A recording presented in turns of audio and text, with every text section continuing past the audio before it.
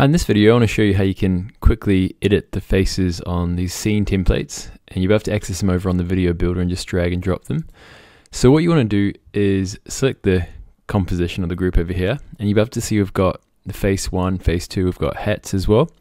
And what you want to do is download the project folder with the hats in the background and you'll have to add those into your media library to add those onto the characters. So let's go ahead and replace the first character over here. So once you've gone ahead and created your faces, um, so make sure to check out that video, the first video on how to do that.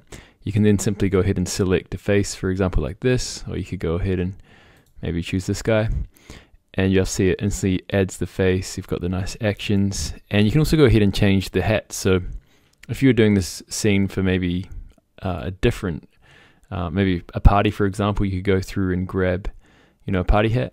I'm going to go and select something like this maybe this crown here. And you'll see when I've added it, it's a bit big. So depending on the types of props you're using, you, you might have this kind of scenario. So what you want to do then is simply click on the hat over here and you'll be able to go ahead and adjust the scale. So you can simply click and drag like this and you can adjust the position so you can make it a bit close like that and you can bring it up a bit like that. So that's looking a lot better. Now if you want to make more precise edits, what you can do is simply double click on the composition and then double click on this one again and double click on the head. And you'll see you've got your hat here and you can go ahead and rotate that slightly. You can go ahead and make it a bit bigger like this and play around with that. So that's how you can go through. And then if you go back over here just click out of here and go back to the main timeline you'll be able to see you've got your that character updated. Go and again change this face. So let's go with maybe the skill here. Okay, and again with this one, you can see because because the image of the face is a, a different uh, ratio, a bit a bit different, so it's um, slightly to the left. So what you want to do is go to face two, and this is x and this is the y axis. So you can simply drag it across like this, and you've got this looking good. And then what you can do is also adjust the hat. So bring this over to the x, and you probably want to bring this down slightly and bring this down like this.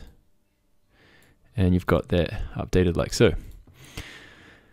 So that's how quick and easy it is to go ahead and adjust your characters and scenes. Uh, and you can go ahead and make adjustments also to everything over here. And again you can just simply double click over here if you want to go into the actual group. And you have to see all the layers over here that you can adjust.